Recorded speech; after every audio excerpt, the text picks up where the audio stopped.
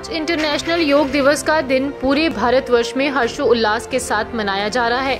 वैसे ही सुजानपुर से morning club के सदस्यों की ओर से भी इस दिन को मनाया गया, तथा सदस्यों ने कुछ योगा की क्रियाएँ भी की और लोगों को भी संदेश दिया कि हमें निरंतर अपने शरीर को फिट रखने के लिए योगा करते रहना चाहिए, ताकि हम खुद को निरोगी बने और इसके साथ साथ ही दूसरों को भी योग के लिए प्रेरित करें।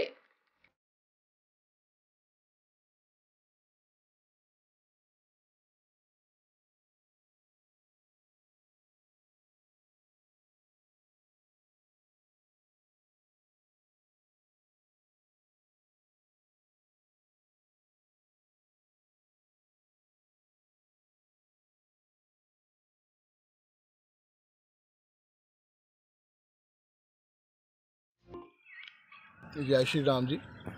ਮਾਰਨਿੰਗ ਕਲੱਬ ਸਿਆਨਪੁਰ ਵੱਲੋਂ ਸਾਰਿਆਂ ਨੂੰ ਇੰਟਰਨੈਸ਼ਨਲ ਯੋਗਾ ਡੇ ਤੇ ਬਹੁਤ ਬਹੁਤ ਸ਼ੁਭਕਾਮਨਾਵਾਂ।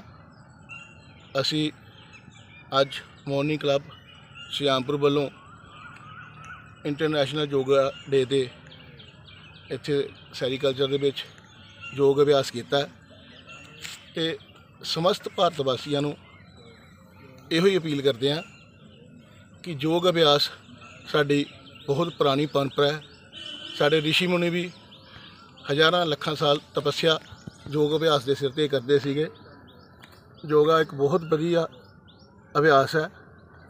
ਸਾਰਿਆਂ ਨੂੰ ਕਰਨਾ ਚਾਹੀਦਾ ਯੋਗਾ ਦੇ ਨਾਲ ਹਜ਼ਾਰਾਂ ਬਿਮਾਰੀਆਂ ਤੋਂ ਬਚਿਆ ਜਾ ਸਕਦਾ ਔਰ ਬੰਦਾ ਨਿਰੋਗ ਰਹਿੰਦਾ ਮੇਰੀ ਸਾਰਿਆਂ ਨੂੰ ਇਹੋ ਅਪੀਲ ਹੈ ਕਿ ਥੋੜਾ ਬਹੁਤਾ ਟਾਈਮ ਸਵੇਰੇ ਉੱਠ ਕੇ ਭਗਵਾਨ ਦੇ ਨਾਮ ਦੇ ਨਾਲ ਨਾਲ ਸਾਰਿਆਂ ਨੂੰ ਯੋਗ ਅਭਿਆਸ ਵੀ ਕਰਨਾ ਚਾਹੀਦਾ ਤਾਂ ਕਿ ਸਾਰਿਆਂ ਨੂੰ ਤੰਦਰੁਸਤੀ ਰਹੇ। ਜੇ ਸਾਨੂੰ ਤੰਦਰੁਸਤੀ ਰਹੇਗੀ ਤੇ ਉਹਦੇ ਨਾਲ ਪਰਿਵਾਰ ਦੇ ਵਿੱਚ ਖੁਸ਼ਹਾਲੀ ਵੀ ਆਉਂਦੀ ਹੈ।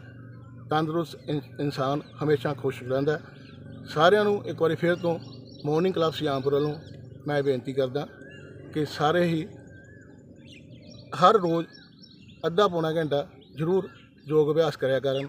ਧੰਨਵਾਦ ਜੀ। ਜੈ ਸ਼੍ਰੀ ਰਾਮ, ਜੈ ਸ਼੍ਰੀ ਰਾਮ, ਜੈ ਸ਼੍ਰੀ ਜੈ ਸ਼੍ਰੀ ਰਾਮ, ਜੈ ਸ਼੍ਰੀ ਰਾਮ। ਅਸੀਂ ਮਾਰਨਿੰਗ ਕਲੱਬ ਵੱਲੋਂ, ਸੁਜਾਨਪੁਰ ਵੱਲੋਂ ਪੂਰੇ ਭਾਰਤ ਵਰਸ਼ ਨੂੰ ਇਹ ਅਪੀਲ ਕਰਨੇ ਆ ਕਿ ਅੱਜ ਯੋਗਾ ਡੇ ਹੈ। ਅੱਜ ਦੀ ਬਜਾਏ ਕਿ ਸਾਰਾ ਸਾਲ ਤੁਸੀਂ ਯੋਗਾ ਲਈ ਆਪਣਾ ਅੱਧਾ ਪੌਣਾ ਘੰਟਾ ਜ਼ਰੂਰ ਕੱਢੋ, ਜਿਹਦੇ ਨਾਲ ਕਿ ਤੁਸੀਂ ਯੋਗਾ ਕਰਨ ਨਾਲ ਤੁਹਾਡੀਆਂ ਸਾਰੀਆਂ ਬਿਮਾਰੀਆਂ ਦੂਰ ਹੋ ਜਾਣੀਆਂ। ਤੇ ਤੁਸੀਂ ਯੋਗ ਕਰੋਗੇ ਤਿੰਨ ਨਿਰੋਗ ਰਹੋਗੇ। ਜੈ ਸ਼੍ਰੀ ਰਾਮ, ਜੈ ਸ਼੍ਰੀ ਰਾਮ, ਜੈ ਸ਼੍ਰੀ ਰਾਮ।